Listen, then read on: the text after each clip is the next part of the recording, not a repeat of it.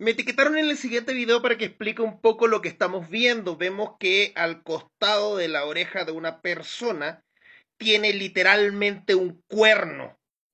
¿Qué está ocurriendo ahí? Bueno, ese fenómeno se llama cuerno cutáneo y básicamente es un tumor que se desarrolla y en la punta genera lo que se llama hiperkeratosis y se desarrolla de forma sicónica.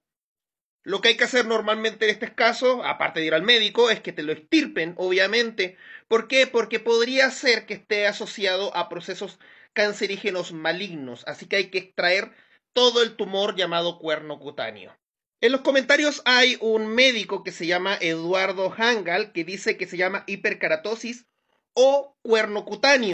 Y con todo el respeto que puedo tener a usted y a su profesión, eh, no estoy de acuerdo con que es hiperkeratosis o cuerno cutáneo, sino que el cuerno cutáneo tiene una hiperkeratosis, porque puedes tener una hiperkeratosis sin un cuerno cutáneo. Si agregamos dentro de la oración la letra O, se está dando a entender de que es uno o el otro. En este caso, el cuerno cutáneo va acompañado con una hiperkeratosis. Puede que esté equivocado, al final del día yo soy biólogo marino, ni siquiera soy biólogo de animales de tierra, y pues usted es el quien sabe más de medicina. Gran parte de esto también es una pregunta a, a la respuesta que dio en los comentarios. Así que estoy abierto completamente a una corrección o que se me desmienta a mí de vuelta, porque así es como aprendemos también los seres humanos.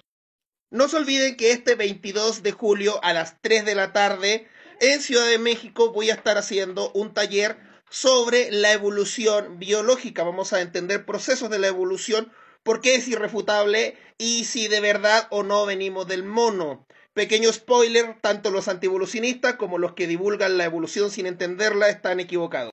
Los boletos los adquieres por tienda Treehouse y todo lo que se ingresa es un donativo para el museo, para la restauración del mismo. Así que también va a ser una buena acción de su parte, también una oportunidad para que me puedan conocer.